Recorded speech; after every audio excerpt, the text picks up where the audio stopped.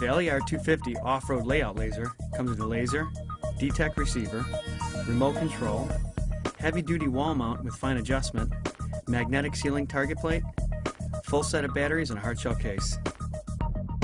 We have the LAR 250 off-road layout system, which comes with the laser, DTEC receiver, remote control, heavy-duty wall mount with fine adjustment, magnetic ceiling target, elevated tripod with a ground kit, high-low elevation rod, a full set of batteries, and a hard shell case.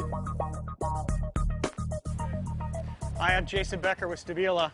Next tool I'm going to show you is what's called our off-road layout laser. As you can see, it's a pretty big, rugged-looking laser.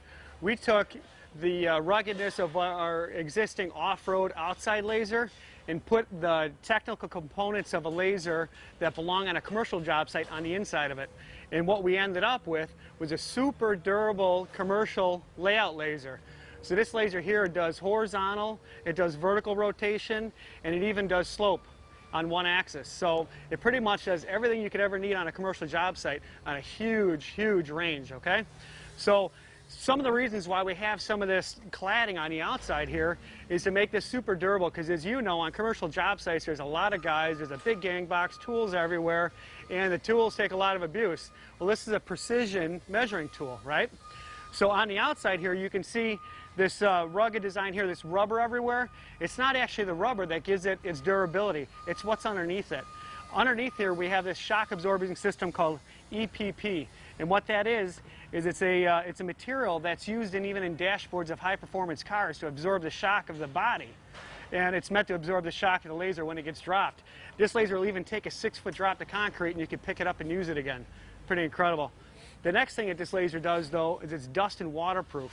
And uh, the reason why you need a dust and waterproof laser on a job site like this is mostly for the dust.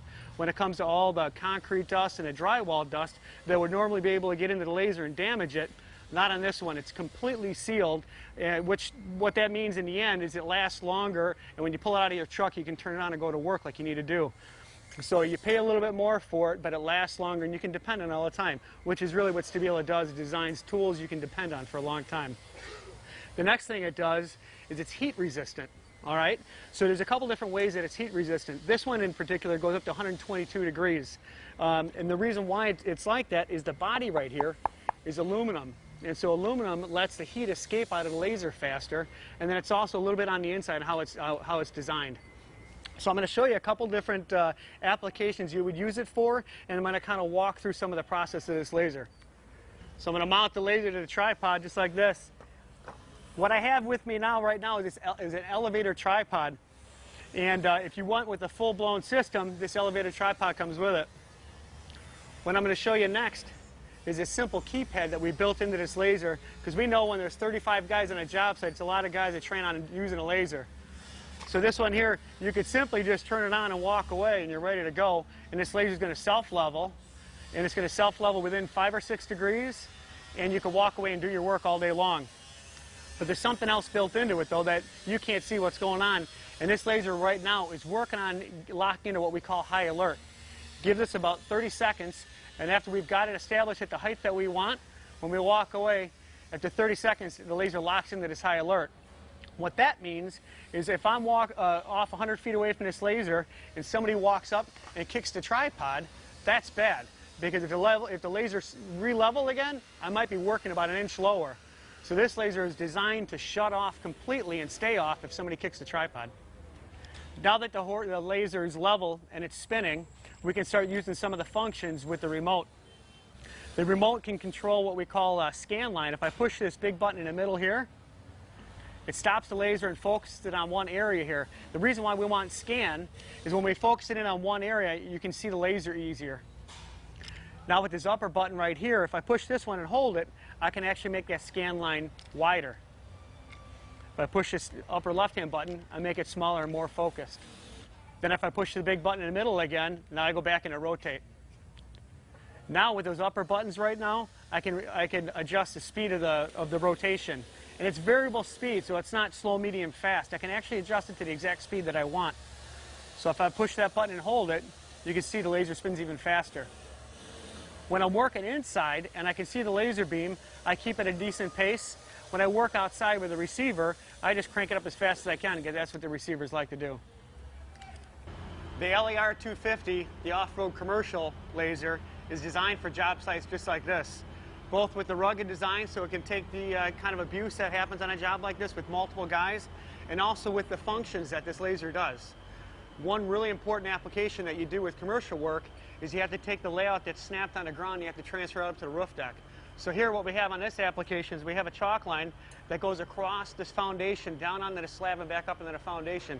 And what we need to do is we need to get, to get this layout up there about 30 feet in the air up on that pan deck. So how we do that is with this laser here we have such a simple function on it. All you have to do is turn the laser on, lay it down, and then the laser knows exactly what to do. So I'm going to do it right now.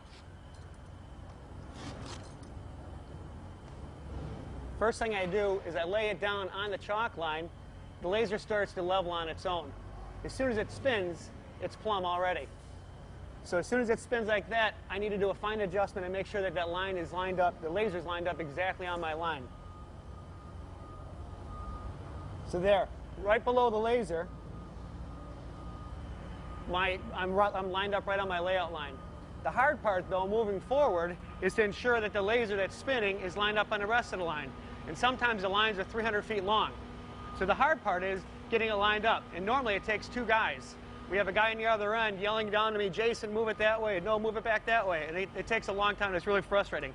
So we've changed how we do that now. The way I'm going to do it, I can do it all by myself. I use a receiver, and in this case, I have the DTEC receiver that comes with this laser. What I'm going to do is I'm going to walk down to the other end of the chalk line, and I've got a black mark that's on the, on the DTEC receiver here that we call deadband. That's zero, right? So I'm going to take that black mark and I'm going to line it right up on the chalk line. So I'm going to walk down there now.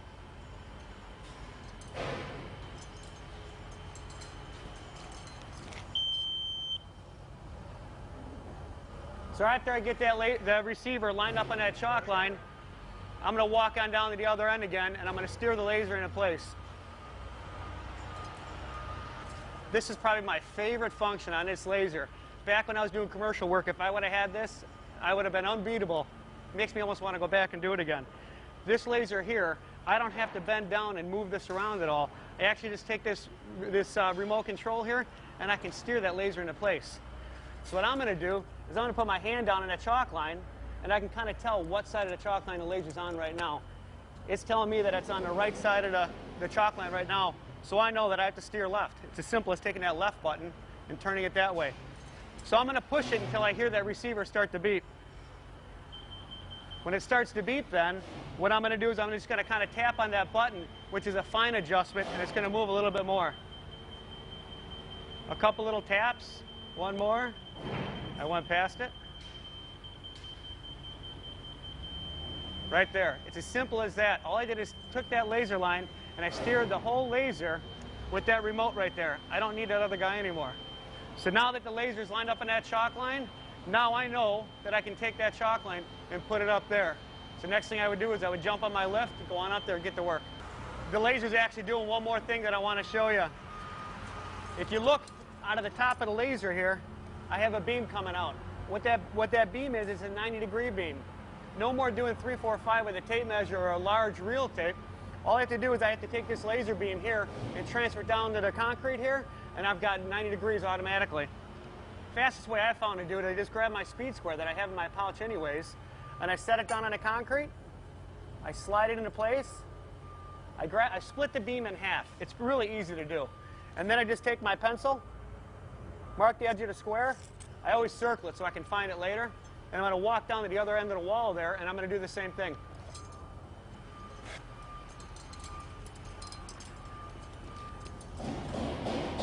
Take my speed square again, drop it onto the concrete, slide it into place until I see the beam. Right there. I split the beam. I can see it on the edge of the speed square. I do the same thing. I mark the edge of it, circle it, snap my line, and we have 90 degrees. I'm going to show you a couple of tricks that I wish I had back when I was doing commercial construction Typically on a commercial uh, job site, you have a laser and maybe a wall mount for doing grid ceiling.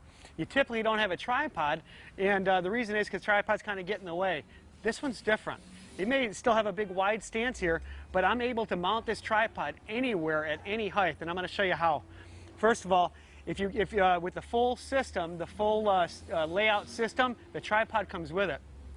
Built into the tripod is a couple different stages here. We've got a quick stage here for the first 18 inches, and then I've got an elevator. Now what this means is typically you would use a laser at a height and you'd measure to the, the, the benchmark that you want to go to.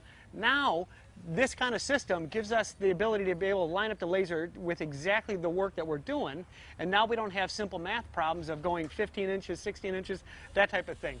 So we can actually get it lined up right with it, right? So this tripod, we can actually get the laser beam up to 10 feet in the air.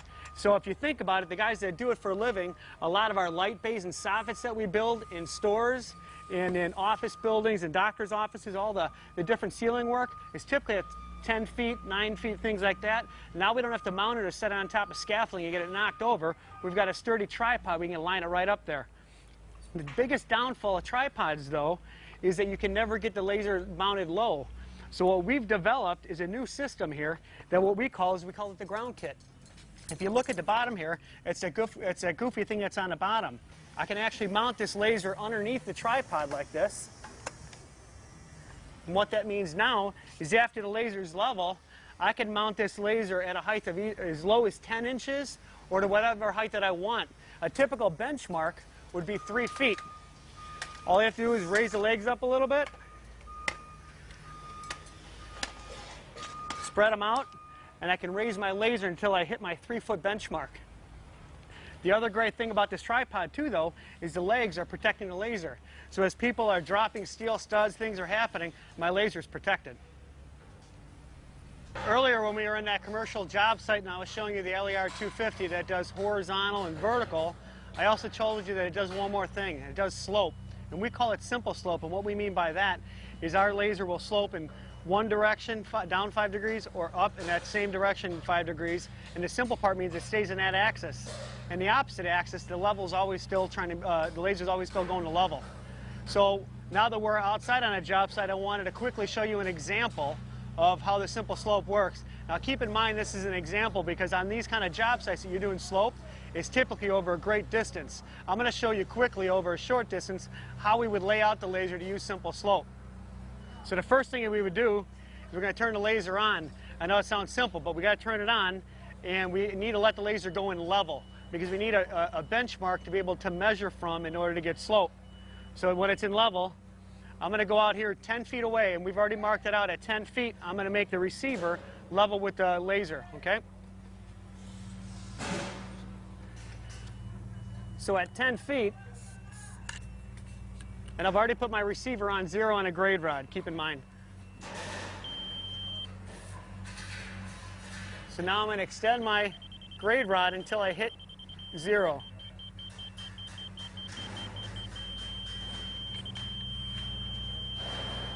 Which is right there. So now we have a horizontal plane and I know where level is at. But now I need to go back to the laser and I need to turn on slope. So what I'm going to do is I'm going to hit the Z button that's on the corner here on a simple keypad. There's only four buttons. I'm going to hit the fourth button. Now the Z's on. Now I'm in slope. Now I go back out to my 10 foot mark and with my remote control, I can control the slope.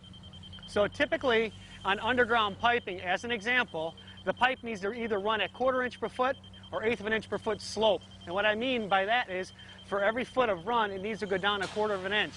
So simple math on simple slope here is if I'm out 10 feet, I need to go down two and a half inches. So what I would do is I take this DTEC receiver here and I'm going to loosen it up. I'm going to move it down to two and a half inches. And with our high-low rod, with the simple numbering system of zero being in the middle, it's easy to find two and a half inches. Next thing I do is I take the remote control, and there's a down button on the bottom of the remote. I'm going to push that and steer that laser down until I hit even tone. When I do that, then I know that I'm at quarter of an inch per foot and I can go to work. So I'm going to do that now.